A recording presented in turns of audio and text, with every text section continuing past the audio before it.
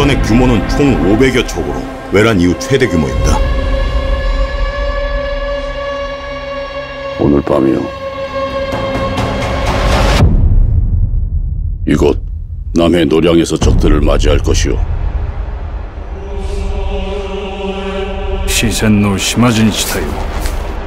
하타나 리순신 수추진노 요이자. 준텐조에 묵고 함께 싸우고자 하지 않는다면 조명연합 함대는 오늘로 해체하겠어.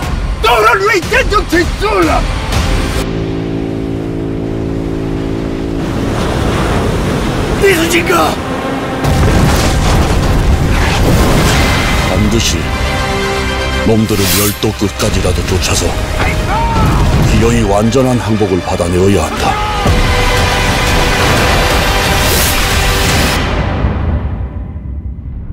I'm Prana!